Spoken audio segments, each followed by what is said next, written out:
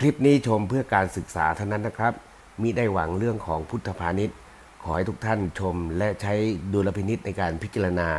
สำหรับพระองค์นี้นะครับ จะเป็นพระสมเด็จวัดระฆัง พิมพ์ ฐานแซม ฐานแซมคู่ เนื้อจะออกไปทางแก่ปูนเปลือกหอยนะฮะเนื้อหาบนสารชัดเจนทุกอย่างนะฮะจึงนำมาให้ทุกท่านได้ชม และก็พิจารณากันดูนะฮะการแตกลายสำหรับองค์นี้จะเป็นแตกลายสังกโลกนะฮะ สวยงามนะฮะมีมวลสารครบเลยนะฮะเม็ดดำเม็ดแดง เม็ดขาวนำให้ทุกท่านได้ชม และก็พิจารณากันเบื้องต้น ดูนะฮะความคมชัดของฐานทุกชั้นนะครับมีความสวยงาม หลักการพิจารณาเบื้องต้นเนี่ยนะครับ เราต้องดูหลักของธรรมชาติให้เป็นดูให้ออกนะครับ